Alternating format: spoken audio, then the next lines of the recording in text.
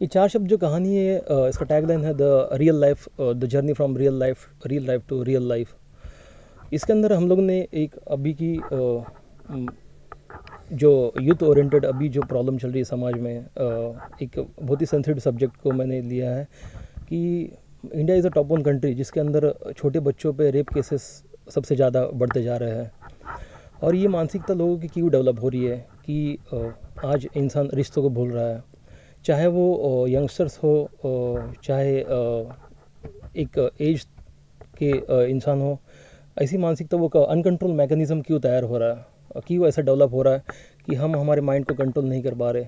और आए दिन अखबारों में और न्यूज़ में हम देखते हैं कि छोटे बच्चों के रेप केसेस बढ़ते जा रहे हैं। जो औरतें हैं सेक्सुअल हैरेसमेंट का शिकार बनते जा रही है। या तो वो डिप्रेशन का शिकार हो रही है, या तो फिर वो सुसाइड के स्टेज तक पहुँच जा रही है। म्यूज़िक तो है जो वो एंटरटेनमेंट एक ऐसा माध्यम ही है। मैं हमेशा से मेरे इंटरव्यू में कहता हूँ कि एंटरटेनमेंट ऐसा माध्यम है जहाँ पे समाज के सोशल मुद्दों को पहुँचाने के लिए सबसे बेस्ट ज़रिया है। तो म्यूज़िक एक बहुत बड़ी अहम भूमिका निभा रहा है इसके अंदर और दीपावली को माइंड में रखते हुए हम लोग ने इस चीज़ की कंपोजिशन की थी कि दीपाली का जो वॉइस टिक्चर्स है, वो यूथ को बहुत अच्छा लगेगा क्योंकि हमारे सॉन्ग का जो कंटेंट है दीपावली का जो आवाज़ है वो लोगों तक हमारे इस मुद्दे को लेके जाने में एक बहुत बड़ी भूमिका करने वाला है। दीपाली जी आपने कितना वर्क किया है?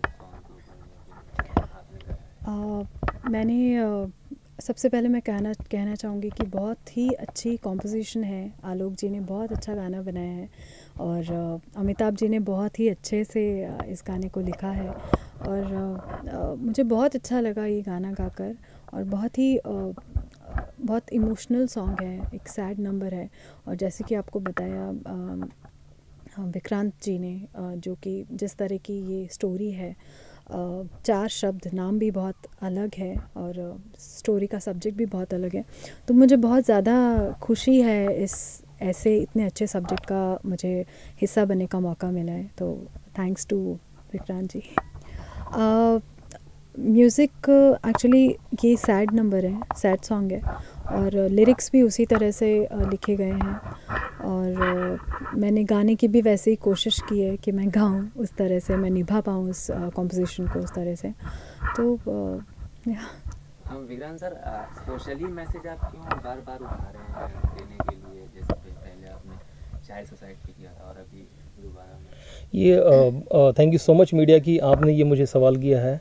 इसके पहले मेरी, मैंने जो अपनी फ़िल्म बनाई फेस ऑफ़ ट्रूथ जिसके अंदर मैंने चिल्ड्रन सुसाइड का मुद्दा उठाया था कि हर साल इंडिया में अराउंड पाँच हज़ार से भी ज़्यादा बच्चे सुसाइड करते हैं। वो मेरी चौदह अक्टूबर को रिलीज़ होने जा रही है मूवी अभी मैंने मैंने डिसाइड किया था कि एज अ फ़िल्म मेकर हमेशा सोशल मुद्दों पे ही फ़िल्म बनाऊँगा, लेकिन बहुत ही एंटरटेनिंग तरीके से। और कहीं ना कहीं अ, मैं आपके ज़रिए उन फ़िल्म मेकर्स को मैसेज देना चाहता हूँ कि अ, कहीं ना कहीं अ, आप जो ग्लैमर या जो चीज़ें भी कंटेंट फ़िल्मों में पिक्चराइज करते हो कहीं ना कहीं हम भी उसके लिए फ़िल्म मेकर भी रिस्पॉन्सिबल है कि लोगों की मानसिकता ऐसी डेवलप होते जा रही है। जिससे कि चाइल्ड रेप केसेस की बात हो या तो रिलेशंस डिस्टर्बेंस की बात हो एक अनकंट्रोल मैकेनिज़्म तैयार हो रहा है इसके अंदर। तो इस मूवी के अंदर काफ़ी वर्कआउट करने के बाद में कुछ डॉक्टर्स को भी मैंने इन्वॉल्व किया है साइकेट्रिस्ट डॉक्टर्स को, जिसमें बहुत ही बायोलॉजिकल और जोग्राफिकल तरीके से हम लोग ने इसके अंदर सोल्यूशन दिया है।